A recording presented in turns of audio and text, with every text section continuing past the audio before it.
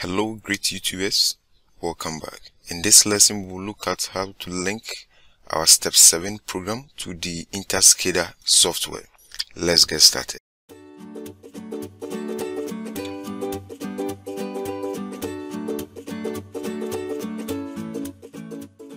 Before we do, kindly subscribe if you've not done that already and also press on the notification bell so that you always be notified whenever I upload.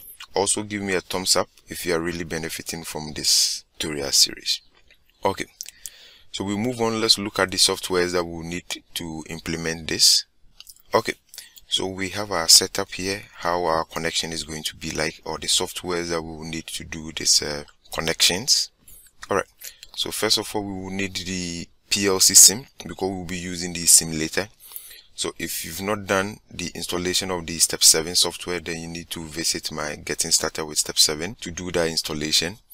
And then you have the PLC sim software installed as well. Then we have the S7 online link between another software we term as the net to PLC sim. So basically this software is to act as a bridge between our PLC sim IP and then the IP of the laptop that we'll be using for our simulation so this particular software will serve as a bridge and then we will have another software because we'll be using OPC for the data collection and then data exchange between the S7 PLC and then the InTouch SCADA. We will be needing the Kepware software, that's the OPC software. And then from there, we already have our InTouch SCADA software already installed. So we can go ahead then and then see how we can download these two software and then look at the configuration. Okay so to download the Kepware software we need to go to this website which I will provide the link below. You click on it and then you have this page open and then you click on this particular link to start the download. Okay then you click save to download okay so after the download the next software we need to download is the net to plc sim. So you go to this sourceforge website which i'll provide the link below. And then you have this uh, tab that you can click to start the download. So i click on it. Okay. download started. Okay so after the download you need to run the KEPServer software to get the opc server running on your machine. So you right click and then run as administrator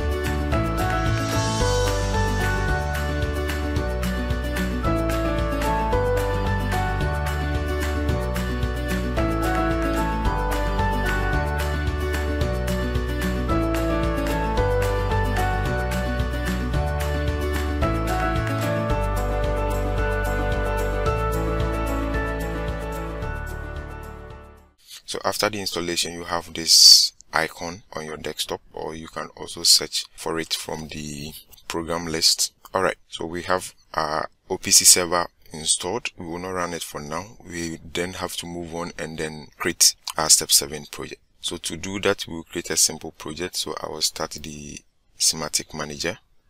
Okay so we will create a simple project. So i click on next. And then you make sure that you choose a plc that is having industrial internet accessibility or have the ability to communicate with industrial internet. So we choose this particular cpu pn slash dp and i click on next. And then the language i choose ladder click on next. And then we can give it a project name. So we can say test underscore opc you can give it any name that you want and then you can click on finish. Okay so we have our project created and then we can look at our station. We have our station 300 and then our block also will be one created. Okay if you want more details you can visit my previous tutorial on the getting started with step 7 so we now need to activate the simulator. So i come here and then click on the simulator. Okay so we can see that our simulator is opened. We then need to download the program into the simulator. So let me minimize the simulator. And then I can go back to the program click on the Simatic 300 station right click and then go to PLC and say download.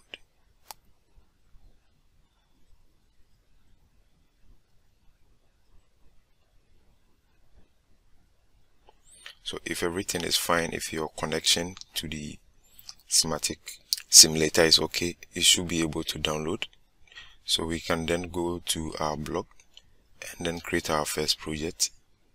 Okay so here we can create a simple project. So I'll bring a, a normally open contact and then I'll bring an input i 0.0 and then I'll bring an output equal. I'll write into a memory location which is going to be m0. Dot, I'll use 0.0 for this. Okay. So we have if this input is activated we should get uh, data logic 1 coming into our db and then we can be able to read this particular db at the SCADA side. Okay let me create a NES network. You click on control r and then i'll create uh, an analog data. So i'll go to the move command bring move and then I would like to key in some values and see whether it will change at the OPC side. That is the so I'll use input word input word 2 for this. And then I'll write this data into the memory memory word let me use memory word 4 okay great. We have this example as well. I create another network and then I create a simple direct online logic and we see how we can control it from the SCADA end.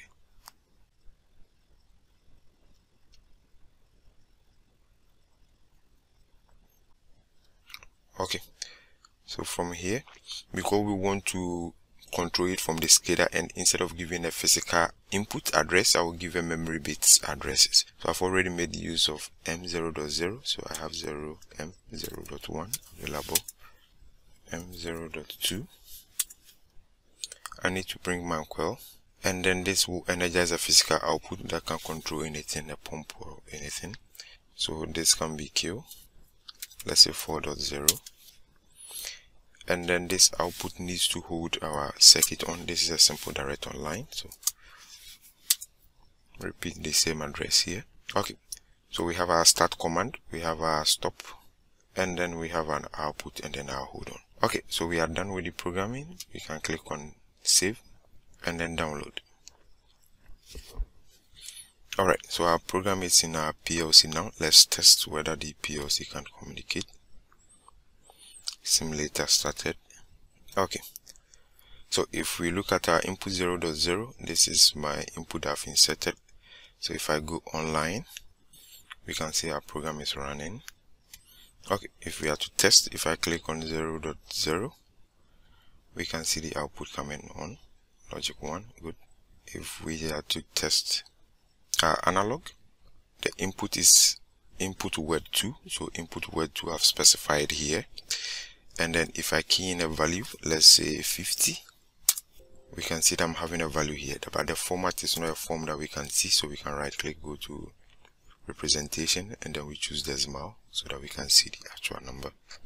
We can see 50 there. Alright let's try our direct online.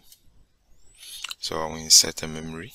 So our memory bits our stop is 0.2 I need to close it.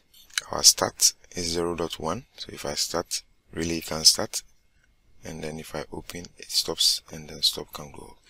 Okay so our logic is tested it's working fine. We can then go offline and then establish the connection between this particular program and then the OPC server.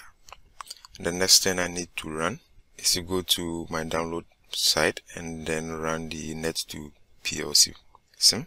So what you need to do is to right click and then run as administrator. If you don't run as administrator, this is not going to work. Click on yes. Click on yes. And then it will start connecting. Okay, so after connecting, you click on OK.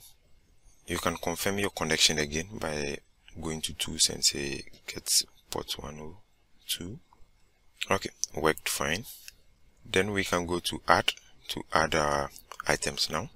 So we can see from here that we have the network IP address and then we have the PLC SIM IP address. Okay so we click on the network IP address. It should be able to read all our IPs on this machine. Basically if you are not connected to any network then you need to configure or you need to set up your IP manually.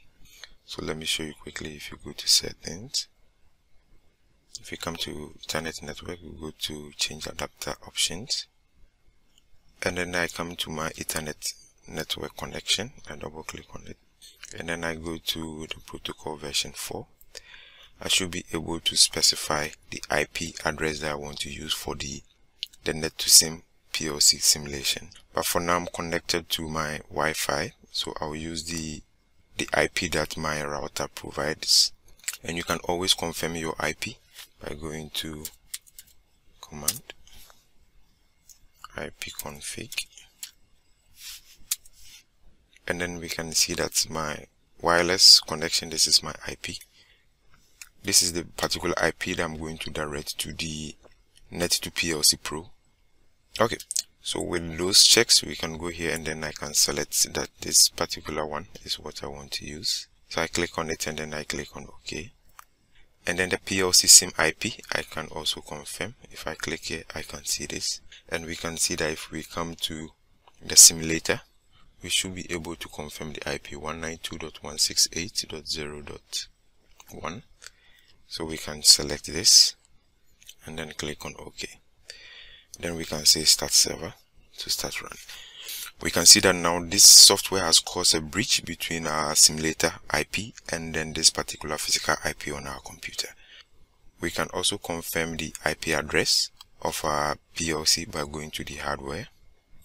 Okay, so at the hardware, if I open the Ethernet connection points, I can see that the IP is specified here. Perfect.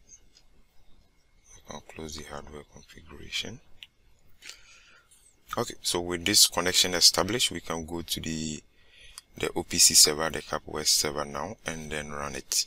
So i minimize this. Okay so i go to the icon and then run it. Okay so with the software started this is how the interface look like. So we need to establish a channel. So we click here and then we can give it a name.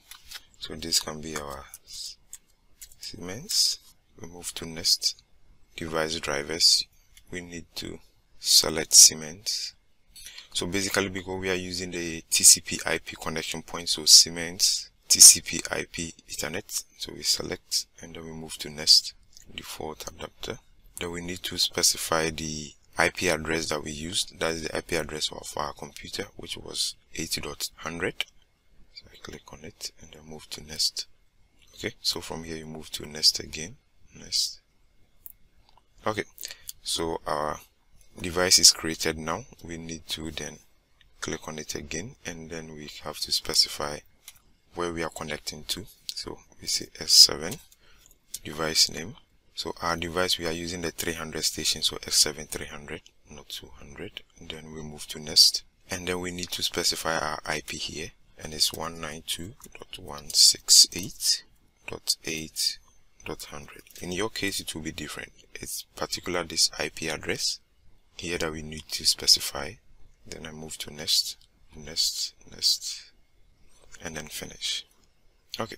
So we have a connection now. So we can now add our tags. So basically what we created here all these memories and then bits physical bits are what we can put them as tags in our OPC so I'll minimize this and then we come here double click and then we create our first tag. So for our first demonstration we have we need to we want to monitor the memory m0.0 so this is going to be my it's going to be a data tag. So i'll say d underscore tag. And then you come here you click on this to select the, the data type. It's memory bit so m. So it's going to be this. That is memory bit 0.0 and then it's a boolean and then you need to delete this. Okay so our first tag is m0.0 so I click on this to verify and then we can see that this data type has changed to bool and then we can say apply and then okay. Okay so our first tag is created. We can then create our next tag. So we'll create our next tag.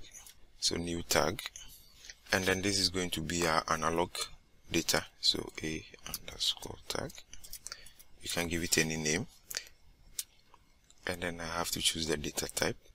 Okay so I have memory word here. So I select it. I said okay I have to delete this. And remember it was memory word 4 that we used. So I have to specify memory word 4 here.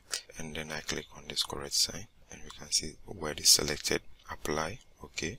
Okay so we have these two tags. Let's confirm and see. So if we can use this quick client to connect to the opc after selecting you come to schematic. this is what we created and these are our tags. And we can see if i bring the simulator.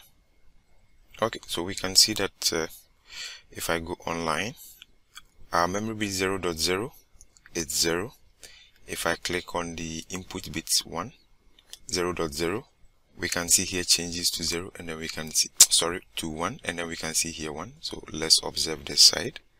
Goes to 0 and 1 we can see that we are exchanging data between the OPC and then when I change the analog yes let's say 70 and we can see it's changing. Perfect. So we have uh, communication between our PLC and then the OPC server. Okay. So the video is a bit lengthy. I have to divide it into two parts so in the second part we will look at the link between the opc server and then the InTouch SCADA see you in the next part. Bye bye